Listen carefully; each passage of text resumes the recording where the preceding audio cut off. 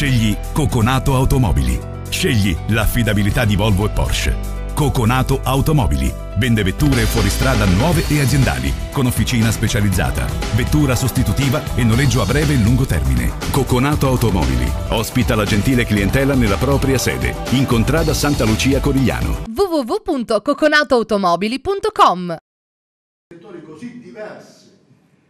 Riunione straordinaria della comunità del parco al protoconvento francescano di Castrovillari per esprimere solidarietà al presidente del Parco Nazionale del Pollino, Domenico Pappaterra, e stigmatizzare il gesto intimidatorio che ha subito l'antivigilia di Natale.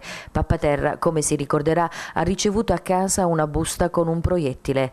All'incontro presenti sindaci dei comuni ricadenti nel territorio calabro-lucano del parco, oltre ai due presidenti delle regioni Basilicata e Calabria e tre presidenti delle province di Potenza, Matera e Cosenza e ai presidenti delle comunità montane. Quella di oggi è una bella prova di incoraggiamento ad andare avanti, una prova d'affetto di tanti sindaci, dai rappresentanti di tutte le istituzioni provinciali e regionali e anche di tutto il mondo dell'associazionismo e delle organizzazioni professionali e sociali che comunque in questi anni ha impattato la mia attività l'attività dell'ente parco.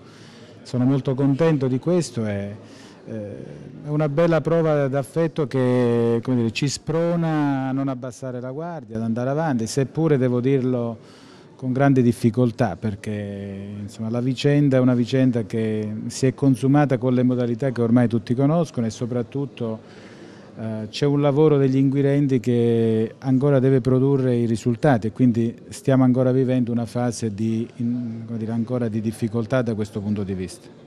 Ma qual è il suo stato d'animo?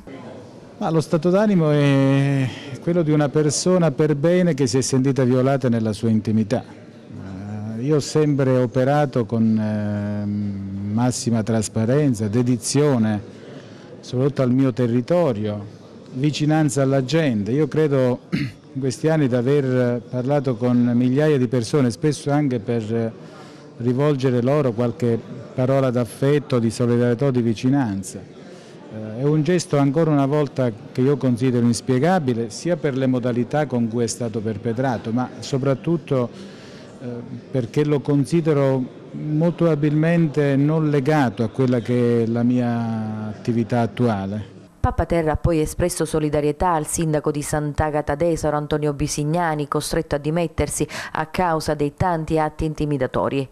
Lì dopo sette eh, atti di intimidazione, peraltro anche con eh, forme molto più violente di quelle che ho subito io, un sindaco giovane, un'intera amministrazione hanno gettato la spugna. Questo per lo Stato non è un bel segnale è un segnale invece di arrendevolezza. Lei ha pensato a dimettersi? La tentazione è forte, è inutile, inutile dirlo, perché poi in questi casi al primo posto viene la famiglia, vengono i figli, insomma, ho un figlio che studia fuori, un altro, il più piccolo, che è stato quello dire, direttamente protagonista della vicenda, per cui insomma, lascio immaginare anche a voi lo stato d'animo che si prova. Ecco, però eh, ecco, di fronte anche a questo, a, questa, a questo grande afflato che io ho ricevuto, io voglio provare ad andare avanti perché mi rendo conto che è giusto non gettare la spugna, però non vorrei neanche fare la fine che hanno fatto altri, che sono finiti nel dimenticatoio e spesso poi sono stati nella solitudine, nell'isolamento, costretti a, dire, a, a, a, mettere in campo un'azione di arrendevolezza. Io l'ho detto, io sono anche pronto, come dire, se sappiamo che questa persona è una persona che è bisognosa di qualcosa, sono anche pronto a, persino a ritirare la denuncia, anche se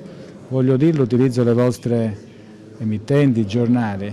Io mi auguro che anche su questa mia vicenda non si abbassi la guardia, che lo Stato vada fino in fondo e faccia le indagini fino in fondo, perché il tentativo, o meglio la, la, la tentazione potrebbe essere quella di eh, derubricare anche questo accadimento come uno degli altri tanti fatti. A portare la solidarietà al Presidente del Parco del Pollino anche l'onorevole Franco Morelli. È un grave atto intimidatorio che va comunque eh, sicuramente condannato al di là delle origini, al di là del fatto politico o meno, al di là del fatto imprenditoriale o meno, è un vile atto che va condannato perché la dignità dell'uomo non può essere messa in discussione da niente e da nessuno. La comunità del Parco Nazionale del Pollino ha poi approvato un ordine del giorno nel quale respinge con forza tali metodi criminali che inquinano il normale procedere di un'istituzione democratica qual è l'ente Parco Nazionale del Pollino e la sua guida, autorevole e seria, che ne ha consentito negli ultimi tre anni